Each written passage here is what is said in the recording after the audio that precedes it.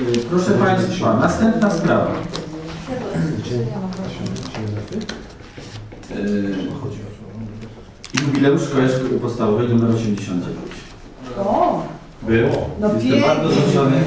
my, ja też. A była Pani, dyrektor, ja. ale pani dyrektor na pewno przez skromność y, no nie powie o pewnych rzeczach. A o czym pan Y, Ja, Czego nie powiem? ja pani dyrektor naprawdę dzielnicy chylę czoło. Bardzo dziękuję. Y, Ja jeszcze pozwolę sobie ucałować jeszcze. Proszę nie zacząć od szybu. Można wykorzystać. U nas sianka. Jak w Lublinie.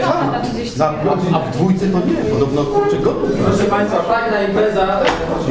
Pani dyrektor chciała coś powiedzieć może? No nie no, tak 30 lat to y, takie 30 lat minęło. Szkoła była budowana w stanie wojennym. Y, To wszystko tak wyszperane z kroniki, y, z kronik szkolnych. Mam nadzieję, że impreza była udana, że y, spotkanie tej pani y, dyrektor y, Halina Kita była też jako, jako dyrektor, więc myślę, że Że miło było to, że się spotkali y, nauczyciele netowani, y, dyrektorów mimo przez te 30 lat, y, niby to jest mało, a było bardzo dużo dyrektorów przez te lata. I To jest y, dziwne właśnie, bo y, był taki moment, że y, przez kilka lat się zmieniali co roku dyrektorzy. Więc trochę się Dopiero ja zastopowałam. I, i, I myślę, że, że takie imprezy są fajne, miłe i sympatyczne. Był to gorący stołek? Nie, nie, nie.